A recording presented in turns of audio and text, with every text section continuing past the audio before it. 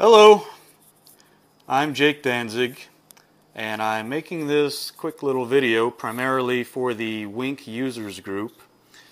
Uh, I'll probably also post it to the Southwest Arcade Collectors page as well. I just wanted to show the number one use I have for the Wink Smart Hub. Um, I do have quite a few uses for it, uh, a lot of water sensors, door sensors and such. But um, my number one use for it by far is to turn on and off all of my arcade games. Um, used to turn them, or I still actually turn them on, on and off individually uh, when I just want to play a certain game or two. However, I did just recently make a grouping for all arcade. I wasn't sure I was going to like that at first, but turns out it actually works pretty well uh, uh, when I feel like playing a whole lot or when I'm having a bunch of people over or something. I just simply hit one button, light everything up. So anyways, how this works uh, for the people unfamiliar with Wink, uh, it's a smart hub and you can control smart uh, outlets among various other things with it. Anyways, I replaced uh, all the outlets in my arcade area with these smart outlets here. I'm going to do the best with this video I can. I know it's dark in here and uh, trying to make a video with the iPad of which I've never actually done before. So here's uh, one game that there's no power strip plugged into this outlet, it's just one game to it. Um, there's about 12, 13 outlets that are replaced in here, but um, most of them have power strips plugged in because there's actually about 40 machines in here total. So here is uh, just a simple outlet. Now it's got a built-in blue LED and also a button right next to it which you can use physically to uh, turn the game on and off with. However, that's uh, not what I normally use them for, so let me show you how it actually works. Turn this back off.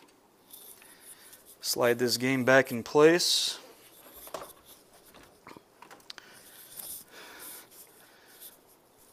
Come over here Pull out the phone. Come on, phone. Pull up the Wink app. So you can see this here at all. Nah, it's probably not going to work in this lighting. But I'll just go ahead and uh, go to the groupings and hit the button for all arcade. Wait a few seconds.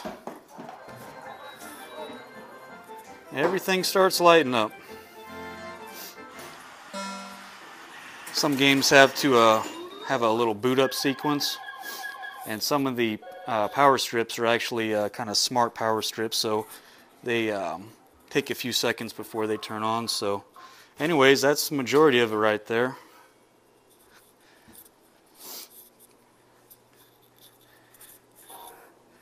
It's a lot easier than um, going for the power switches on some of the games especially the older ones Matter of fact, a couple of much older pinball machines I have don't even have power switches. Uh, you simply uh, have to plug them in and out. So the way I have these set up is everything is plugged in and everything uh, that has a power switch has the power switch set to on. So uh, all I got to do is basically turn the outlet on and all the games will aut automatically power on. Uh, the reason I stumbled into this specific use for the Wink Hub was because of this machine right here, the jukebox. Its power switch is in a really tough spot to get to if you want to turn it on and off about every day.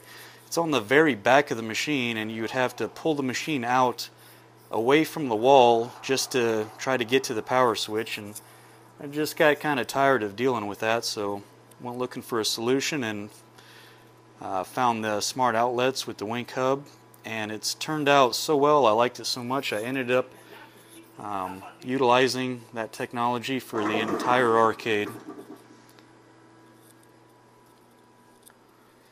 And there it is. Thanks for watching.